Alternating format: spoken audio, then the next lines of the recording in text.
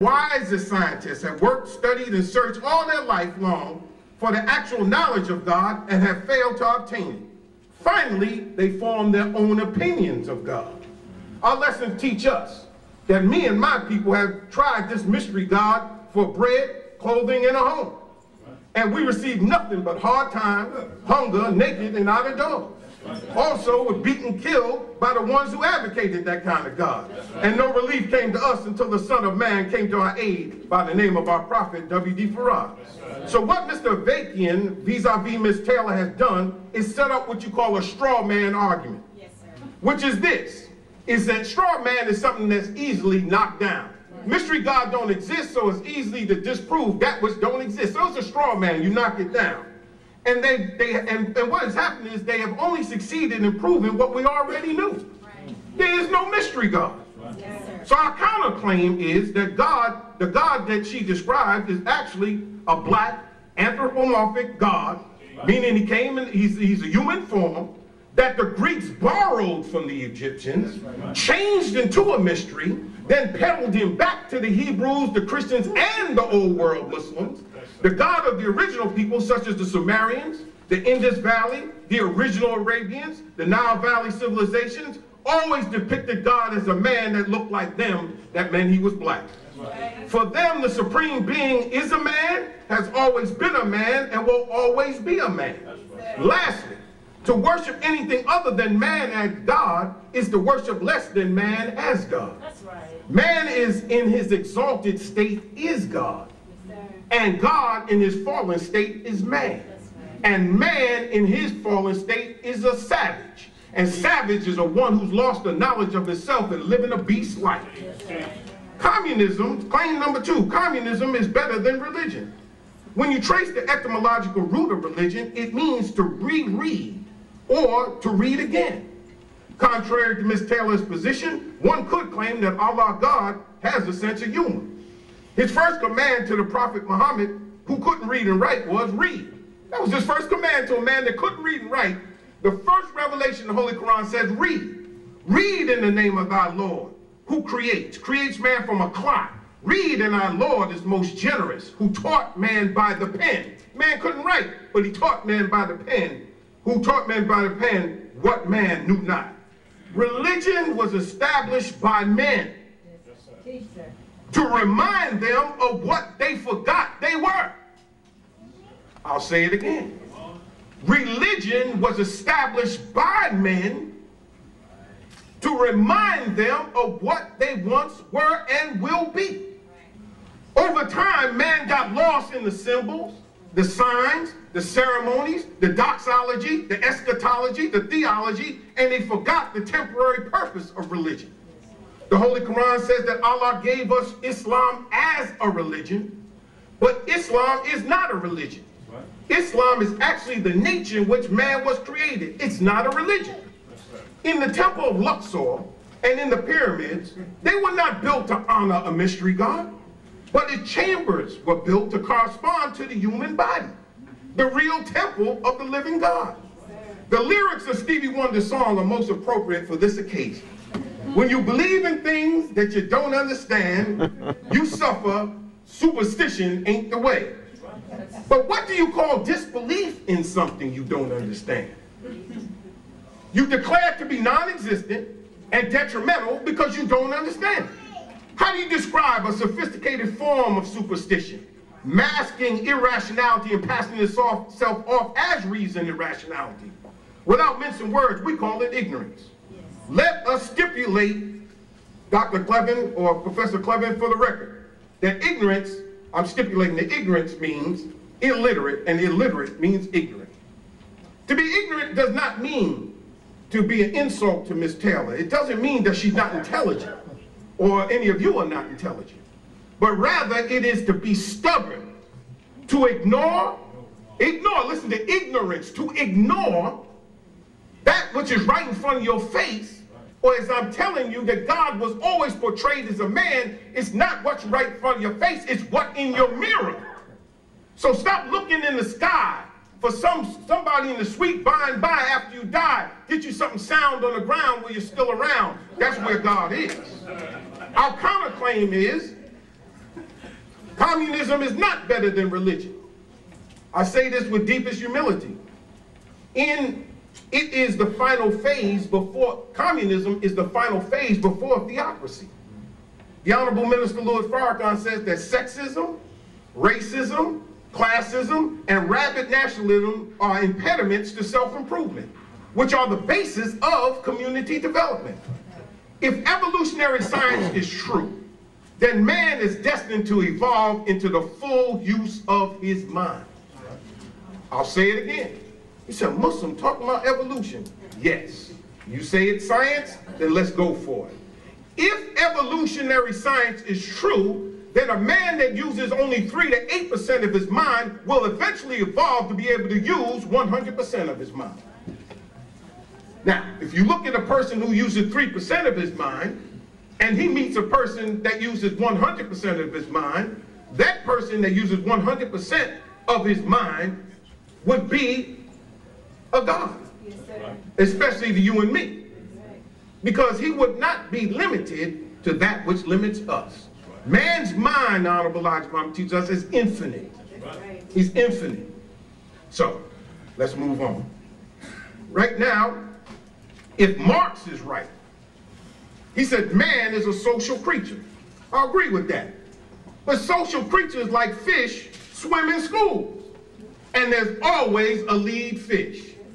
So if we abolish all property, we abolish all sexism, racism, bigotry, anything anti-Semitism, anything that holds us back, then I don't care, you can put 10 of us together in a room and give us a task, and one of us is going to be superior in that task over the others.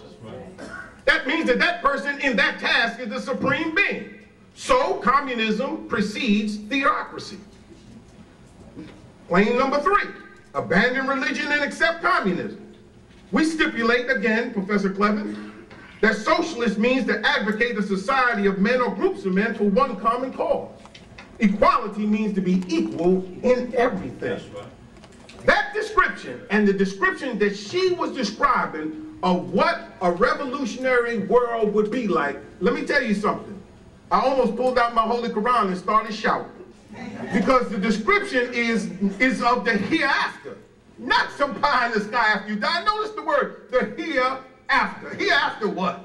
Hereafter all of those things, those evil, wicked things you talked about are wiped away. We're going to be here. So when you look in the Bible, it says that I saw a new Jerusalem coming from the heaven to the earth. He said there'll be a new heaven and a new earth. So look here. Why are you so busy trying to get up in the sky up in the sky when everything's coming back down here to earth. Jesus said, thy kingdom come, thy will be done. Where? On earth as it is in heaven. So we're not trying to go up in the sky. Nothing up there but space lab and, and, and, and the satellites and a bunch of space junk. There's nothing up there. I hope y'all understand that. Auntie and all them are not up there in the sky. It's gonna be all right. Religion practiced properly leads to communalism or communism. Practiced properly. These are the golden rules. You want for your brother or your sister what you want for yourself. That sounds like what she was talking about.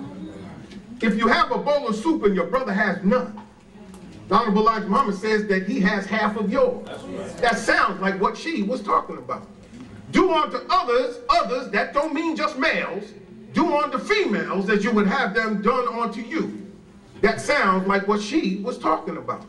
So our counterclaim is it doesn't matter what you profess, communism or religion, it matters what you practice.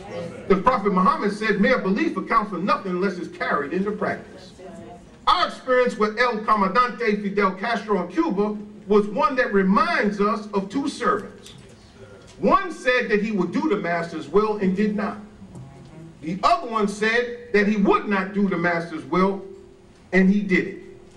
America believes in God, claims to be a Christian nation in some quarters, says it believes in God. On his money says in God we trust. Don't trust in the money, you got to trust in that God. You might as well trust in that mystery God for you trust in his money that's not backed with gold.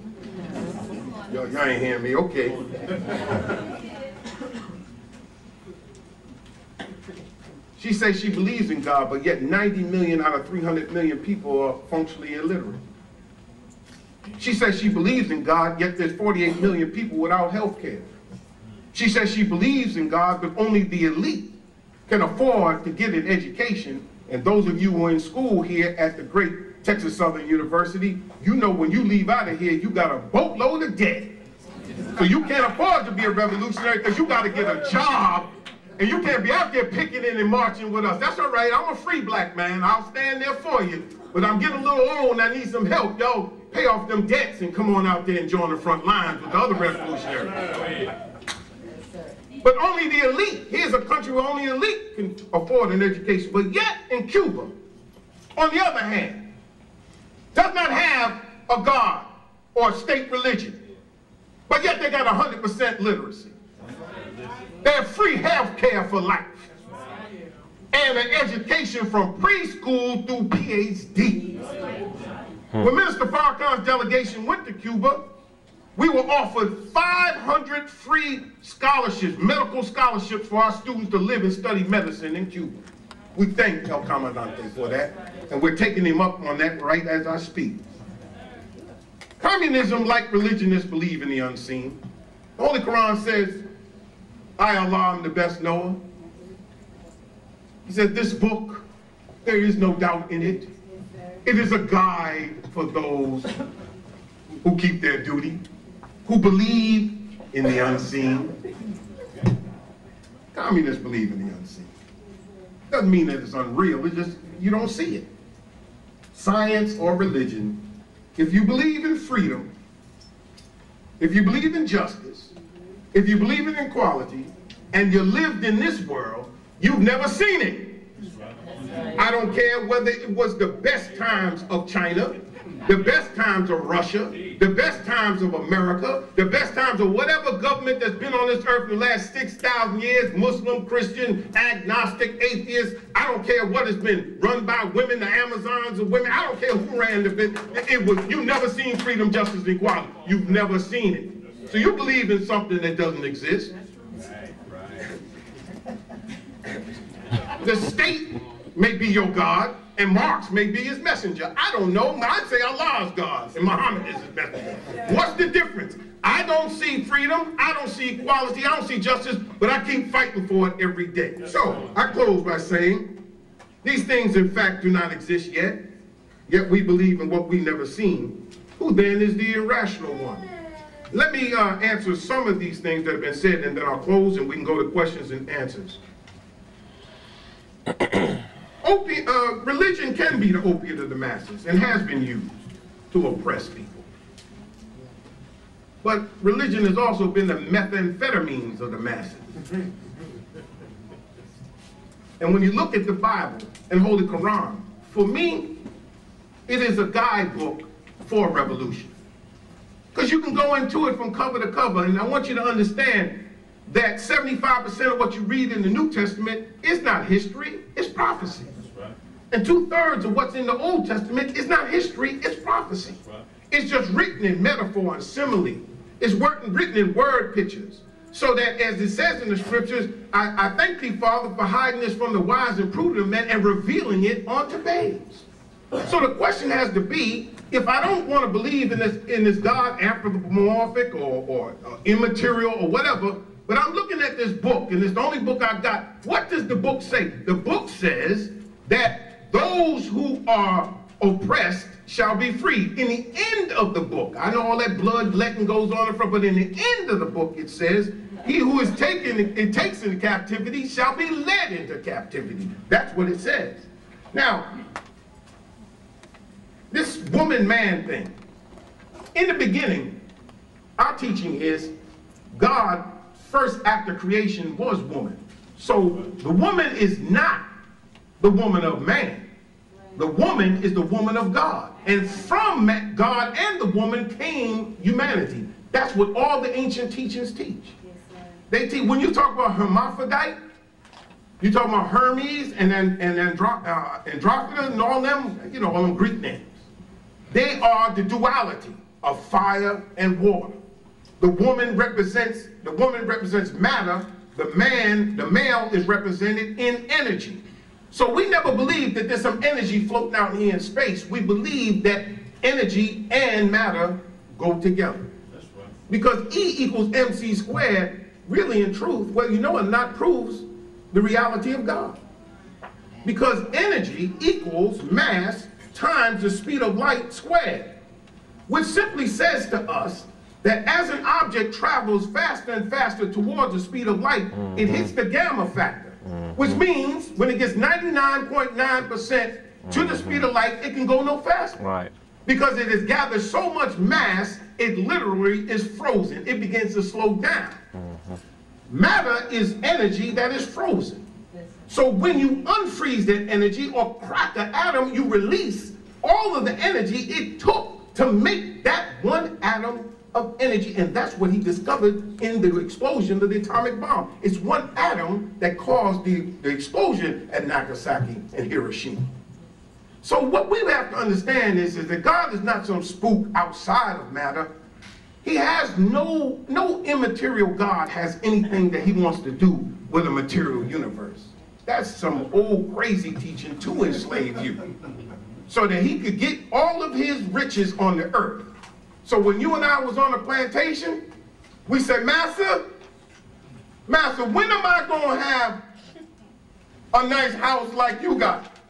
He said, Leroy, and you know Leroy, Leroy means in French is the king. Leroy. Leroy, when you die, you gonna have a nice house like this. For real, master? Yeah. When I'm gonna have some shoes like you, master? He said, Leroy, when you die, when am I gonna get uh, stop playing this old wash bucket? So when you when you when you go to heaven, Leroy. But see, black people weren't stupid. Even in our songs, we had liberation songs. So we had to hide what we were doing, so we did it in religion. Religion was liberating for us, and so we sung songs like Swing Low, Sweet Chariot, Coming for to carry me home. Hell, we wasn't talking about no chariot. We wasn't talking about Elijah's chariot. He said, when I looked over yonder, when I see a band of angels coming after me, coming for to carry me home, we wasn't talking about going over to Jordan and all that. That was code language for swing low, sweet Harriet as in Tubman, come get me and take me north. And I don't care how much that lying, no good preacher was lying to us, telling us all these lies of fairy tales out this book. We didn't believe that crap. That's right. That's why we sung in Negro Spiritual. It said, I got a crown, you got a crown. All the God's children got a crown.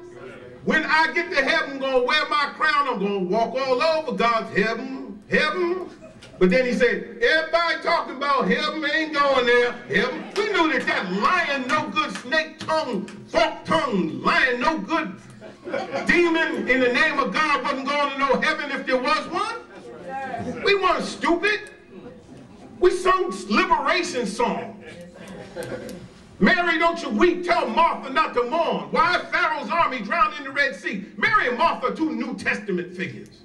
What they have to do with Moses and the Red Sea? Mm. Mary and Martha are the sisters of Lazarus. Lazarus laid in the grave four days, he's stinking. Who is Lazarus? Lazarus is lazy us, who laid in the mouth of a grave, and our sisters, our women are crying. Now, you may have the option. You may have the option of same-sex marriage, and in America, you can do that. But we don't have the option because six out of ten of our households are headed by females. We got to have some brothers for the sisters. And we got to have some sisters for the brothers. I cannot raise another generation with this do your own thing, all that. No, we're not following you. Do what you want to do. That's freedom. That's real freedom. But what you mean by freedom is license to do what the heck you want to do. So she can have a baby or not, because a nation can rise no higher than this woman. That's right. And anybody that mistreats a woman, they mistreat the whole nation. So what she said, I'm offended by, not because she said it, because it's true. And we have to do a better job in the name of religion or non-religion. And I close and I say this. Paul said, prove all things and hold fast to what is true. Mm. He said, prove all things. He didn't say some of them. So you can take this book or my book or any book on his face if you want to. But in some cases, we should submit until understanding comes. Let me tell you something. I, if I was all of you, I would practice Islam tonight. I would leave out of here and all y'all would practice Islam. If you practice Islam, it's a scientific, mathematical, statistical fact that you'll be less likely to catch swine flu. I guarantee you. I guarantee you. CDC. Wash your hands. A Muslim prays five times a day and you taught to wash five times a day and take a bath. If you just wash up, maybe you'll skip the prayers, but just wash up five times a day and you'll be less likely to catch swine flu. Thank you for listening. Assalamu alaikum.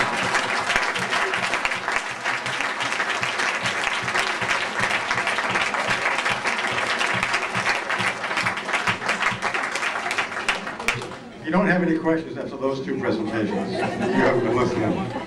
Uh, we have another speaker over there, I think, so if there are questions from the audience, uh, we'll, I guess, hand the speaker to you, let you ask your question, then bring it back so it can be answered.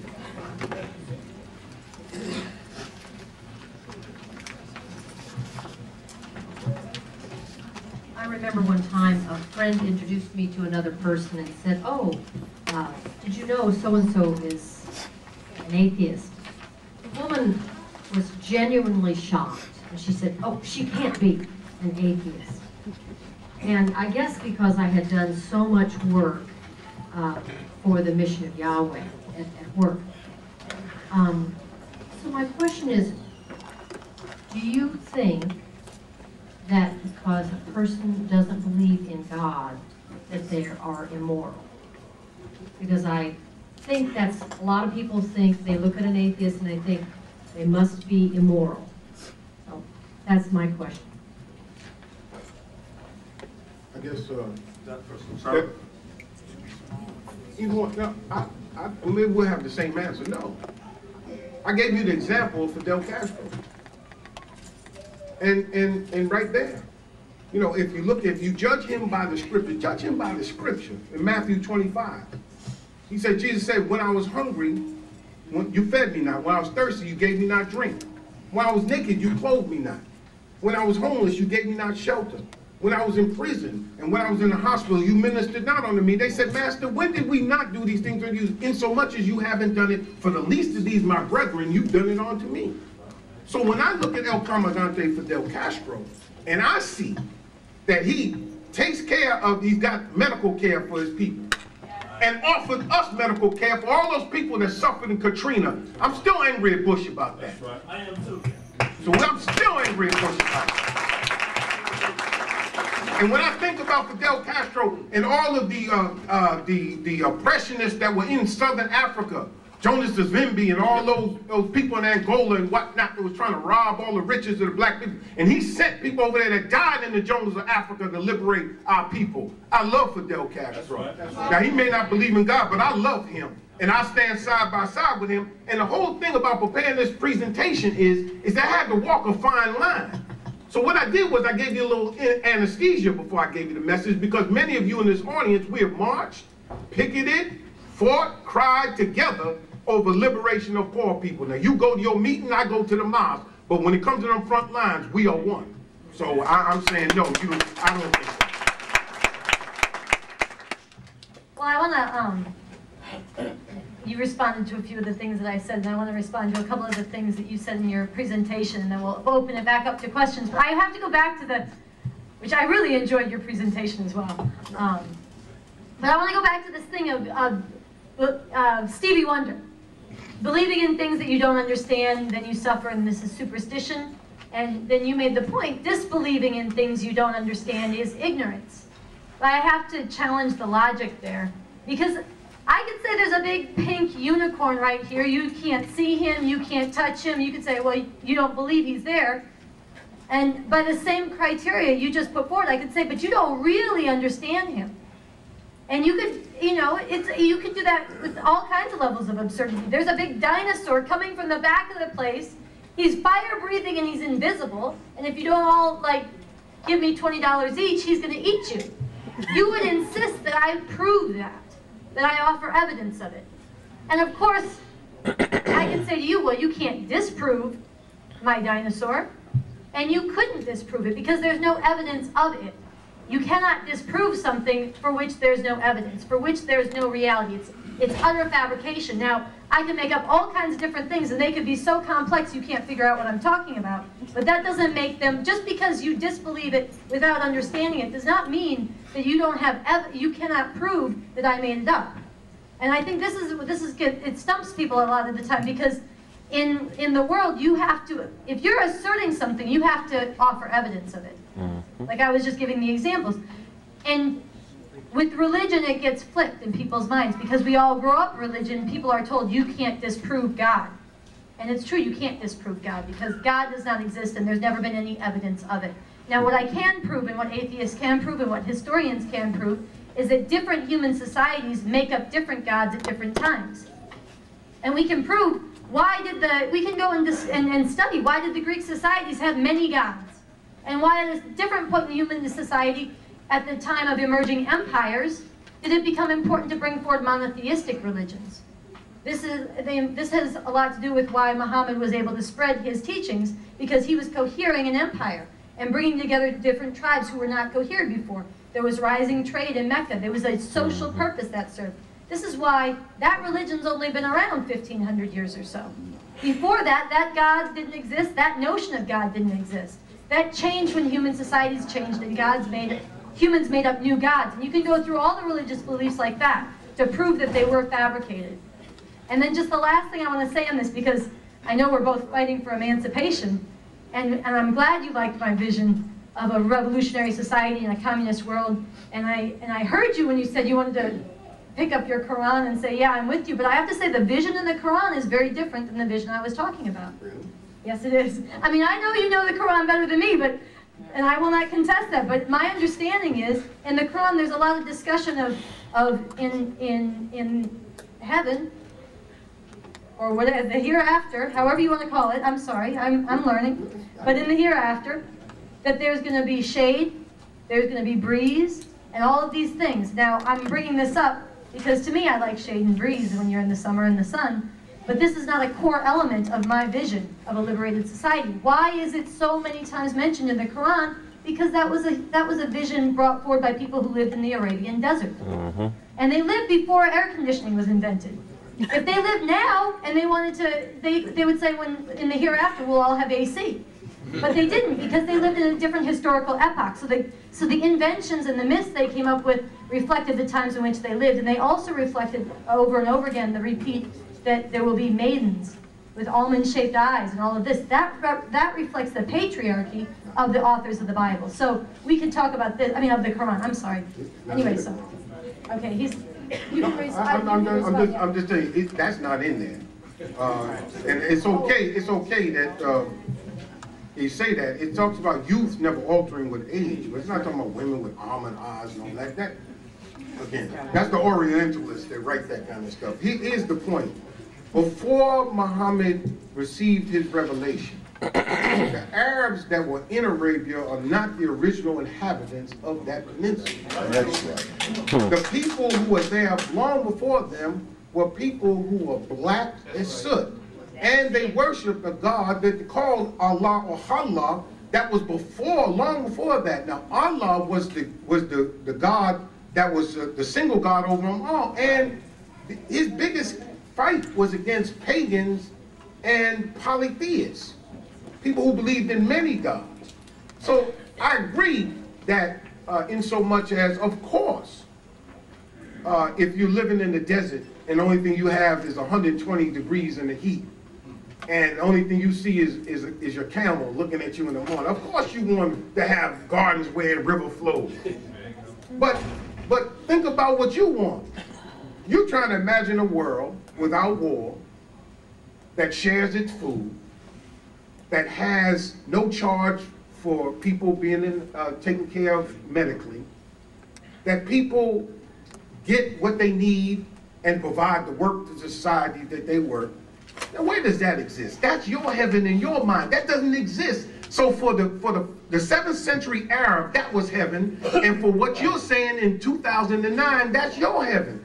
Call it science if you want to. Remember, what was yesterday's science fiction is today's science fact. For someone to say that a man could fly would have been science fiction, but now you got here on a plane.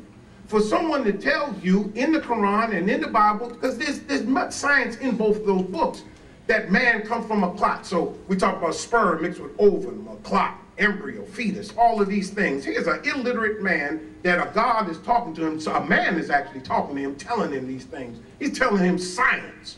So now what you have is a situation in the books where you have to decode what's in it. And if you decode what's in it and understand that, again, like I said, 75% of it is prophecy, meaning we're fulfilling it as we live. You just got to take the characters. It's like a script. That's what they call it scripture. So take out Babylon, put in America. Take out the, the, the Hebrews, uh, children of Israel, and put us in that place. Take out the uh, uh, Pharaoh and put George Bush. Take out America and put in Egypt. We're fulfilling, we're living it right now. And so what we're discussing right now is probably what they discussed because when they made the exodus out of that land of bondage, they left out with a mixed multitude. That means everybody wasn't the children of Israel. Everybody wasn't a believer when they left out for the promised land. We've been uh, going for about an hour and 15 minutes, but if you got the energy, uh, I'm ready for more. So uh, I want to give people a chance to ask uh, some questions. Two quick things before that, though. Uh, there's a questionnaire that we left on everyone's chair, uh, and if you care to fill it out, we'd appreciate your thoughts. The second is that we need some funds to pay for the expenses of uh, having this meeting. So uh, Let me do that. I was gonna say, let him Let me that do part. that. Let me do do that. that part really You sound- you sound like a college. You sound like a college professor. Now you need a preacher. All right. Look at it. Let me tell y'all something. These, they work very hard. Sandy Joe and Emilio and the whole crew, Travis and all of them work very hard to make Travis, he, he gone on the way. That's my main man, though. And Travis, boy, that was my main man. But they worked really hard to put this on. You got a small basket. You must don't believe. All right. but what I'm asking you to do is to give tonight, you know, and I'm not showing off, but here, here, put something in there. Put something really good, something that folds and something that rolls. But put something in there because I want to make sure that they get all the bills paid and they take care of the business because we can't set back the, the mission just because there's some theists and some atheists up in here debating. We still need that money. So as we pass the receptacle, give what you can. And please help us. And we got the brothers watching the basket that goes by, so don't get no sticky fingers. But this is true, and don't worry about, and, and write a check, and can, Sandy Joe, Sandy, can they write a check? You, you got a checking account? You want, not to me, he wants to write a check. Man might want to write a big check. I don't know. There- Checks can be made out, this is to support the travel and the tour that I've been on to Sunsara's World. It's like, um, if we had a whiteboard, I'd write it down. Sunsara's World, S-U-N-S-A-R-A apostrophe S, World. Um, and it's to cover the, the, hat to cover the event and then pay for the organizing. You know this wasn't free. Yep. You know what, nothing free about that, because there is no mystery God. It's real, everything's real. We believe in that. So get the energy to put your hand in your pocket and in your purse, and go ahead and please give to this effort. anyone with a question over here? Yes, ma'am. I would like to know what is the origin of your belief and how long has it been in existence? Okay. Um, everybody heard her? She asked, what is the origin of my belief and how long has it been in existence, my belief? Um, do you mean how long have I believed the way I do or how long has the belief system that I am a part of been around? The former, how long have I believed? Um, I became an atheist when I was maybe, I think I was about 20. Um, so about a decade ago. Um, and, you know, like I said, I grew up religious, but one of the things that happened is, besides reading Bible quotes that disturbed me and then being challenged to confront them, one of the things that preceded that is, I remember when I was in junior high or high school, I was hanging out with the Young Life Christian Club, and um, this was right when the first abortion doctor was killed down in Pensacola, Florida. And he was killed by a Christian fundamentalist gunman. And I remember being so horrified, and a lot of people were very shocked at that time, and my family was very upset, I was very upset. And I went to school the next day, and all of my friends in the Christian Young Life Club were talking, everybody was talking about it, but they had more sympathy with the gunman than with the doctor.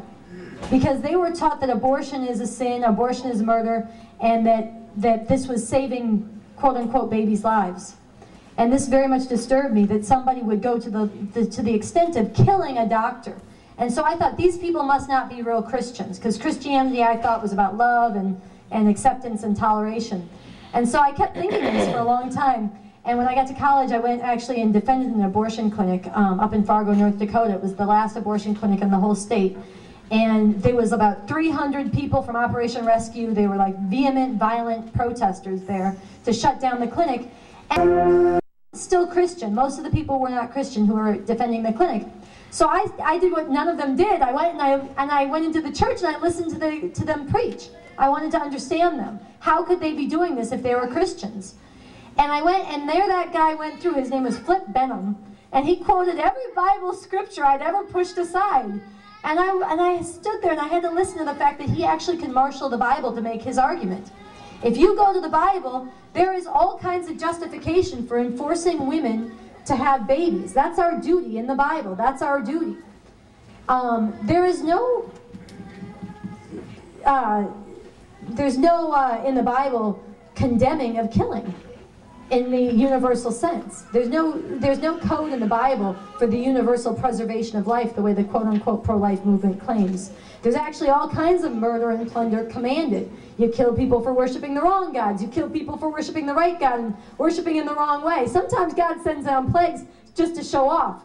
You know, he kills a lot of people. There's all kinds, and then women are given away. Lot gives his daughters away to be raped. There's all this stuff I had to confront. But the Bible actually can be used as a force to enslave women and take away our reproductive rights, take away our right to be a full participant in society, to be something beyond a breeder of children and property of men. But the Bible cannot be a code for emancipating women and emancipating humanity. And this was, to me, a big challenge that made me have to rethink the Bible. I read some of Bob Avakian's earlier works. Um, and then from there, you know, I have to say the, the ultimate breaking point for me was I was sort of getting over Christianity and exploring other religions, thinking maybe there's some Buddhism, maybe some other kind of spirituality. And a friend, and you know, I was learning a little bit about it, but one of the things, people in this country have no idea what Buddhism actually means for people in countries where it's the dominant religion, and it backs up feudal, patriarchal, enslaving institutions there. Um, but a friend of mine who was an atheist and a communist one day just said, look, if you can understand that the, that the God of the Christian Bible is absurd, why can't you see that all these other gods are absurd too? And he just went through them, and, and, and I realized that I couldn't defend the existence of any of the gods that I had been taught about, that they were all made up, like I said before, by human beings at different points in human history, reflecting the times in which they lived. So ever since then, I've been an atheist, but it wasn't, just uh, not to go for too much longer, but I, this is the important part, is that it wasn't until I understood how harmful belief in religion is to people understanding and changing the world that I decided it was important to go out and fight for atheism. Because if it was just a matter of personal belief, it would be just a matter of my belief, your belief, whatever. But actually people are trained to do things that are harmful because the Bible tells them so, or because other religious scriptures tell them so. And they do things, frankly, which otherwise they would never do. That otherwise they would be able to see are immoral, like opposing gay marriage. What, I mean, on what basis?